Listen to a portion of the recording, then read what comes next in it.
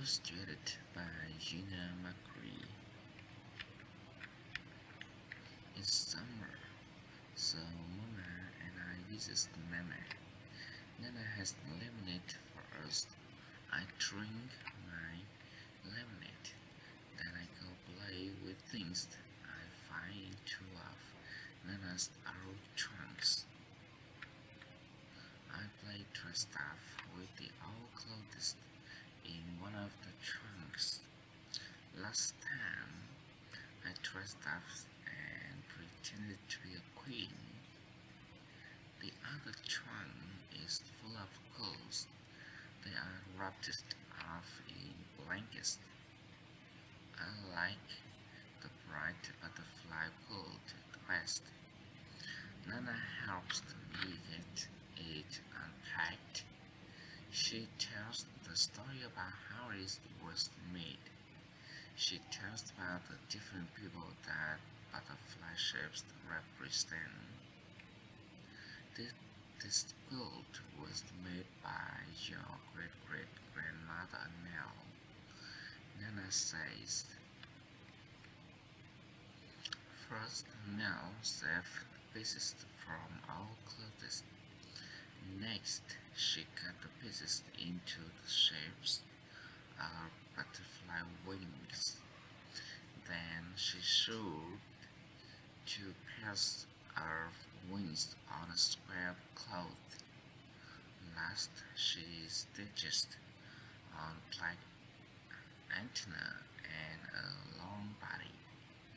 When Nell had lost the butterfly squares, she stitched them all together into one big piece.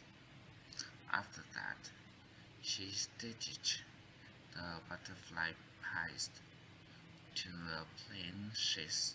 She put soft stuffing inside. It took a long time to finish the quilt. Nana poised the quilt. She says this butterfly was made from an plaid shirt that Nell's father wore in the store. This other butterfly came from a bandana your great great grandfather wore on his farm. This one came from a dress my mother wore. Nana said, this flower print came from great Bella's curtains. This blue stripe came from great Uncle Bob's baseball uniform. I helped Nana pack the quilt away from after she tells her the butterfly quilt story.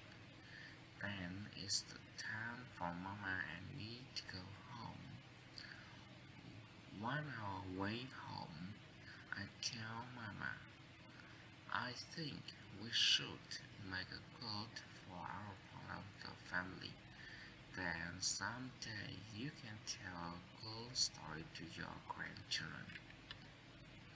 Native American quilts. Many Native American families make special quilts.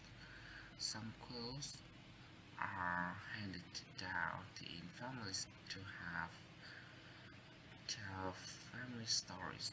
They are offered as gifts at weddings, births, funerals, funerals, and travel meetings.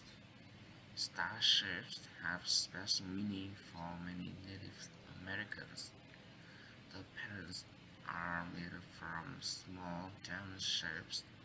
They are cut from plain, brightly carved material.